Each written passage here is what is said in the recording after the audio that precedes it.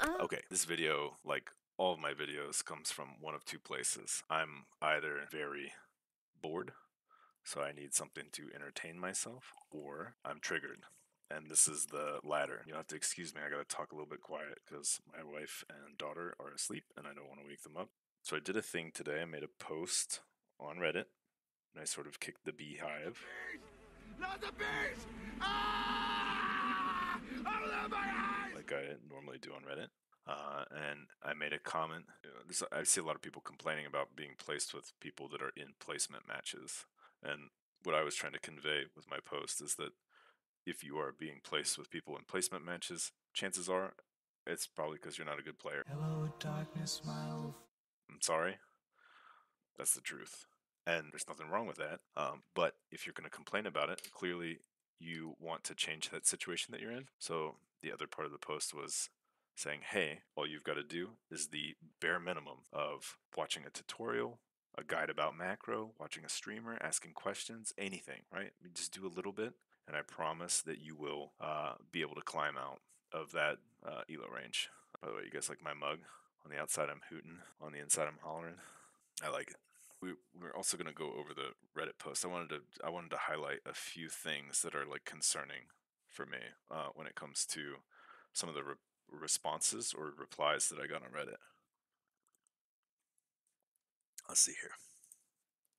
Uh, I like this one. A sweaty streamer telling people to get good. This is the equivalent of a rich person telling a poor person just to stop being poor. I am sweaty, as you can see. My sweat is also toxic and corrosive. We've taken the vinyl off of the chair, and there's it's even stained with my back sweat. Look at that; it's disgusting. It's gross. Anyway, this mentality is just wrong. In real life, there are certain things that are literally out of your control. In real life, there are certain things that are literally out of your control. I radiate brilliance.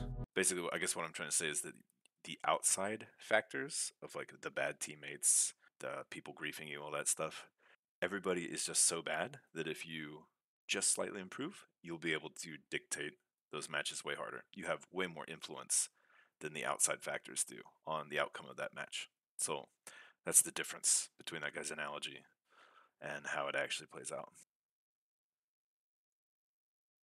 He said, I, I don't I played Smite and Paragon, so I don't need tutorials, is what he said. Right? And then he posted this screenshot. I just want like I wanted to post this or I wanted to at least show this off because this is like the mindset I feel like of most players. He posted this to like showcase like, hey, like I can't win this match because I have three people in placements. But then also you're going against somebody that's 242 MMR, 321 MMR, 518 MMR. I'm not trying to be mean, but the people that you're playing against don't have fingers and they don't have eyeballs. But I cannot see. I'm. You say that you played Smite and that you don't need to watch tutorials, but if you're playing at this level, you do need to watch tutorials if you want to improve. This is like you have to actively try to lose games to get to this level. And I think this is the mindset that most people are that, that, that they're not doing anything wrong. You are doing something wrong. If you're at 700 MMR, you are doing a lot of things wrong. over again. Wrong. So, Yeah. what can we do to ah. improve? The first thing that I want to make very clear, right, is that this fucking thing is a mini map. If somebody doesn't ping, this is bad habit number one being in your own world, not understanding what's happening in the game. If somebody doesn't ping and you die to their gank, ultimately, that's on you. It's a courtesy, they should ping, but if they don't, it is still your fault. You also have eyes. You can see the rotations. You should be this thing right here. Fuck, I can't. Fuck, it's, it's it's backwards. Sorry. This thing right here, you should treat like a rear view mirror in your car. You should look at it every three to four seconds. If you're playing jungle, you have literally zero excuse not to do this. If you're playing support, you have literally zero excuse not to do this. The other lanes, I can understand. You get tied up and stuff, but as a jungler and as a support player, and just in general, you should look at this thing every three to four seconds. Hip hop is. And number two is that we want to actively hit tab. If you want to improve, hit tab. You want to look at who's strong on the enemy team, and you want to have an idea of who to focus. And that's pretty easy to do. Focusing targets. This game, more than likely, the targets that we will be concerned about focusing are Countess and Sparrow. They're the damage dealers of the team. The point is, in a team fight, if you kill the damage first before they have a chance to kill your damage, you just hard win that fight. Like nine times out of ten. So if you are focusing a tank, you are griefing.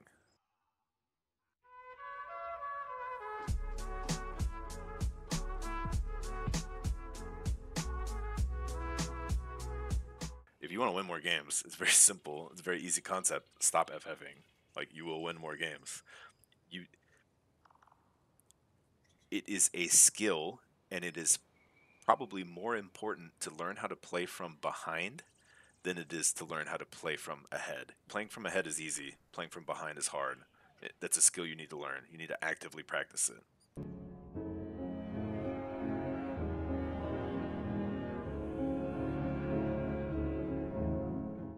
Don't FF. If you're low level, don't FF because people make mistakes all the time. And I need you guys to understand that if you're behind, things like bounties exist. If let's say the Sparrow is 8 and 0, she's got 8 kills and 0 deaths, right? She's worth over 1000 gold. If you kill her, that's a 1000 gold on your team. That's a comeback mechanic. Over you have to you have to rationalize it in your head. Over a 1000 gold, she's actually worth like 1300 gold. No, that's a lot of Gold. That's a lot of gold. That makes a big difference. If you happen to get that gold on your carry, or your mid laner, or like an assassin, that could be what turns the game.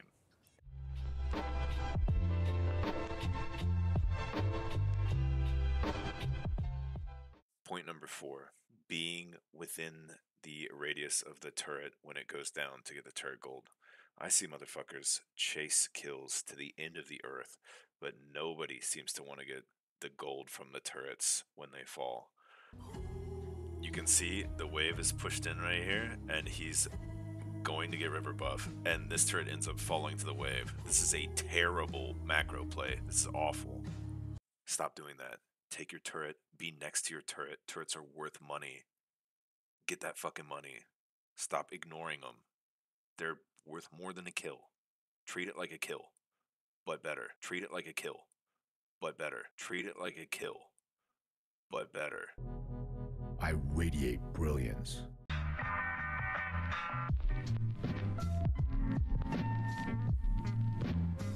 Okay. There's two conditions that need to be met when you decide to do this objective. One of the two. You have to treat it like a checklist. If one of these two conditions is not met, you don't do this. One of the conditions is that you just want a team fight and key members of their team are dead, and now you can do it if you can do it quickly. The second condition is that some of the key members of their team are on the other side of the map, and you can do it quickly. That's the only time that you should do this. Okay? Some junglers will say, well, if you have the upgraded smite and they don't have the upgraded smite, you can go ahead and do it. I disagree with that. I think that's still throwing. You don't ever want to force fights on this. You want to do it when you can do it, and just don't do it when you can't do it. It's as simple as that. So many games are thrown by junglers just walking by this and going, "Oh, I guess I'll do it," and then they just start it, and then the enemy team collapses on them and they die. Once again, you only start Prime or Raptors if you win a team fight and you can do it quickly after the team fight, or they are on the other side of the map and you can do it quickly before they can get there.